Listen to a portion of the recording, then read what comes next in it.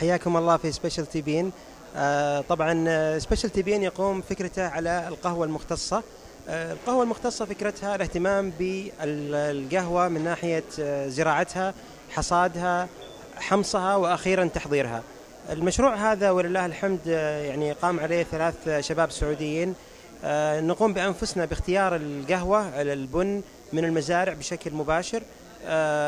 ننتقي كل يعني آه، زراعة وحصاد لل- للقهوة ونقوم بأنفسنا بحمص القهوة بمدينة الخبر.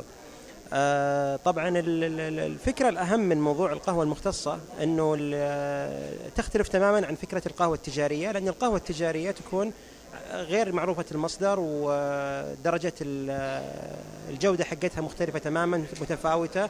فإحنا دائما آه، ننتقي أجود أنواع البن ولها حتى معايير حسب معايير الجمعية آه، جمعية القهوة المختصة سواء في أوروبا أو في أمريكا.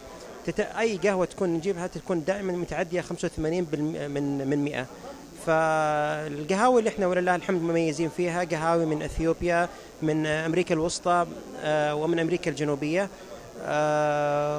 ولله الحمد يعني في غضون عدة أشهر استطعنا ولله الحمد يعني أن آه، نشكل آه، فارق كبير في آه، سوق القهوة. وكذلك آه، يعني ايقنا ان فعلا الناس تدور الجودة وين ما كانت.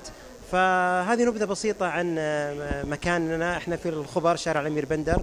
تقاطع 21 وبإمكانكم حتى تشوفون سناب كود حقنا بمتابعة آه، آخر الأحداث آه، وآخر التغطيات وما خلف الكواليس كذلك. ومشكورين ويعطيكم العافية.